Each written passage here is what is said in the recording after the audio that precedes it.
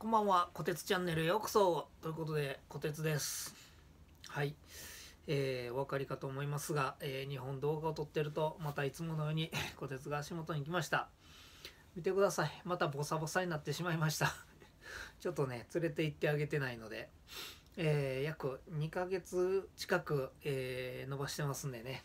しかも前回はバシッと切ってないので、ちょっと寒いかなと思ってね、ちょっと長めでね、置いといたんで、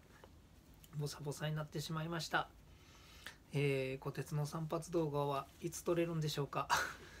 まあ今月か、えー来月早々にはね、えー散髪行こうとは思いますけれども、相変わらずね、えー小鉄元気にはしてるんですけど、もう最近ね、おやつくれ攻撃がひどくて、えーちょっとね、小鉄に負けておやつをあげると、ちょっと太ってきたような気もしますんでね、ダイエットしないとね、いけないかなと思います。まあ自分自身も、え太ってきてますので、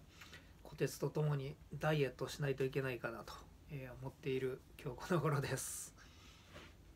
はい。今日もね、小鉄おとなしいですけど、なかなかね、え外行く動画がね、撮れてないんですけどね、えーまあ散歩の時はね、いつも通り、えー散歩してから帰りはダッシュみたいなのでね、ピャーっと走ったりはしてますがね、また、あのー近場の散歩もまた動画上げてみようかなと思います。はい、ということで、えー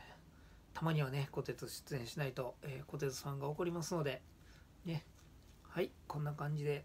ちょっとボサボサになった小鉄です。ね、最初の頃みたいでしょ。最初の頃ね、結構ボサボサで、顎の下とかね、めっちゃ伸びてましたからね。はい、ということで、えー今日はボサボサの小鉄を見てもらいました。それではまた。バイバイ。